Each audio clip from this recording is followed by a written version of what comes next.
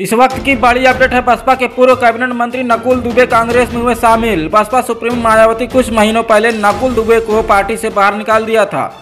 वहीं इस वक्त की बड़ी खबर आपको बता रहे हैं कि पूर्व मंत्री नकुल दुबे ने थामा कांग्रेस का हाथ। नकुल दुबे ने दिल्ली में कांग्रेस की सदस्यता ली। एक तरफ़ मायावती ने नकुल दुबे को पार्टी से बाहर का रास्ता दिखा दिया था। वहीं दूसरी तरफ़ आपको बता दें कि प्रियंका गांधी ने नकुल दुबे को कांग्रेस में शामिल किया है। इस वक्त की सबसे बड़ी अपडेट है, आपको बता दें कि बसपा के पूर्व कैबिनेट मंत्री नकुल दुबे कांग्रेस में हुए शामिल। इस वक्त की सबसे बड़ी खबर है।